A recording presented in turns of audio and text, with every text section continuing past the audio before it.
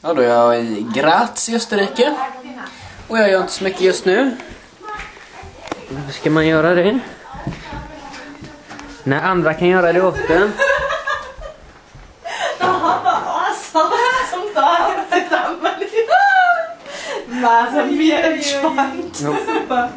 Förbereder min efterrätt här i alla fall. Och Monica, hon kokar den kinesiska huvudrätten åt oss. Kosten? Ist gut, magst du kosten? Något kinesiskt ska det bli i alla fall och det blir säkert gott.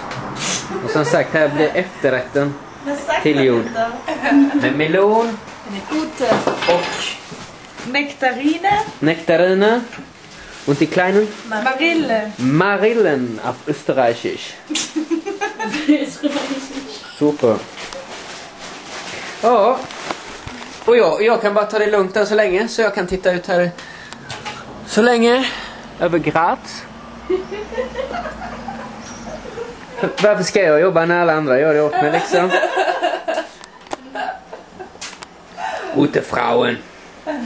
Kochen.